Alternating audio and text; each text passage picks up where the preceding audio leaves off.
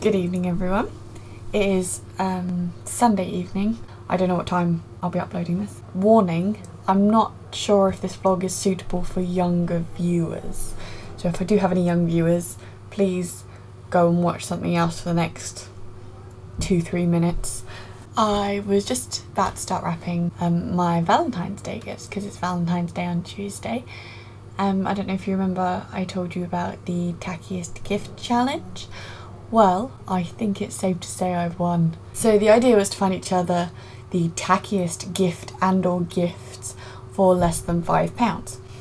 So, because I like to win, um, I found her in Poundland um, some sizzling body candy. Allow me to read this to you. I just close up.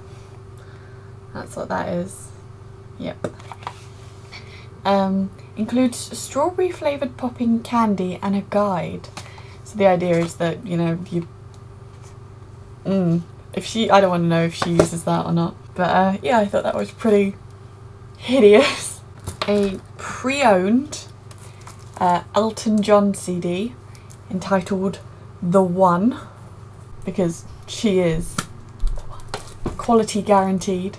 Finally, some lipstick kiss loo roll. So that you know it's, it's got little kisses all over it so that when she goes to the loo yeah it's vile isn't it? Um get your coat love you've pulled. That's what that uh, card says. Because I like to win I figure we have to go all out. So um to wrap my lovely Valentine's Day gift. Oh, what's this? Tesco's carrier bag. So the idea is I'm gonna um, cut the handles off and use it like sheets of wrapping paper. So take them all up and put them in this lovely gold box. I also got her a card that says um, you're my soulmate with some fishes on it because she is my best friend. So, you know, tacky stuff aside, I wanted to actually get her some stuff from me that says I love you very much. Um, I also picked up a card that says it's got like a bunny on it and it says like some bunny loves you and you make my heart hop and that's for Josie because she's very cute and I thought she'd, she'd appreciate that.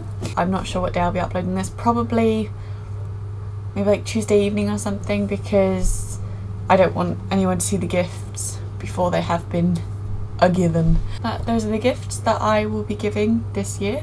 If you received any particularly tacky or you gave some awful gift or you know some kind of joke present or you can think of any joke presents that maybe you've given in the past that got a few giggles please um, do a video response or comment because um, I'd love to know.